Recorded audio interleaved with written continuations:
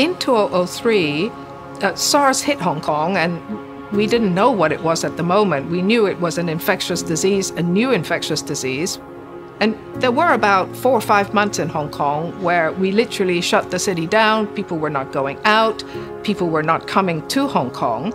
So that created uh, an experience, an unforgettable experience for us. We realized that it was very important for there to be good air circulation.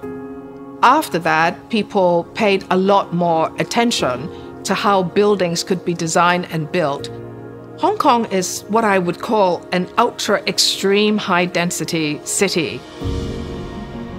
We have about 42,000 buildings. Because we are a service economy, we don't have a lot of industry. 60% of the carbon emissions from Hong Kong actually come from the building sector. After SARS happened, uh, we very quickly realized that um, our built environment actually have a deep impact on our health um, from individual buildings, how the sewage pipe is worked, the ventilation of the building inside is important. Ronald and Partners, it's a architectural design firm. Uh, we are specialized in high density urban environment and our focus is, is on creating human-centric design as well as sustainability design. We try to really create communities around our projects and bring about a rejuvenation on some of these areas. The CIC Zero Carbon Park was conceived in 2011.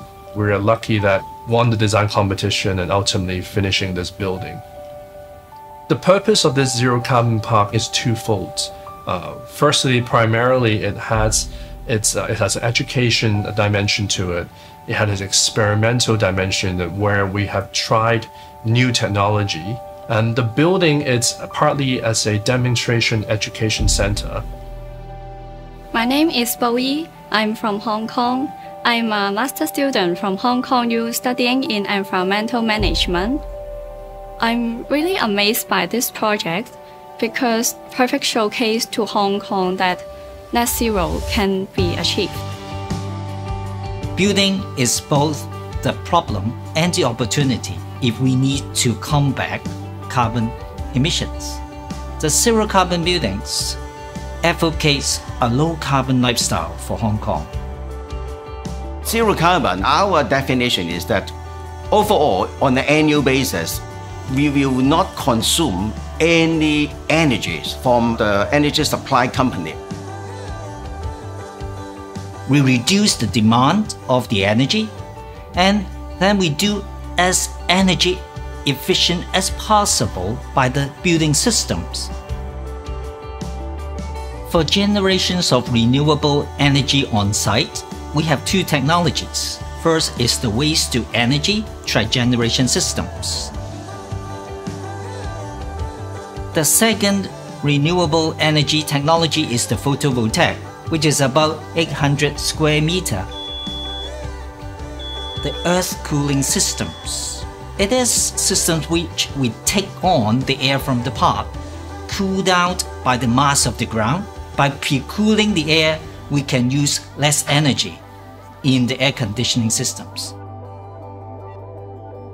For the concrete that we use in this building, we try to use uh, those uh, fuel ash. Those uh, power generation plant, they use a lot of coal, and then we use this as a replacement for cement. And also we try to make use of uh, those locally available construction material.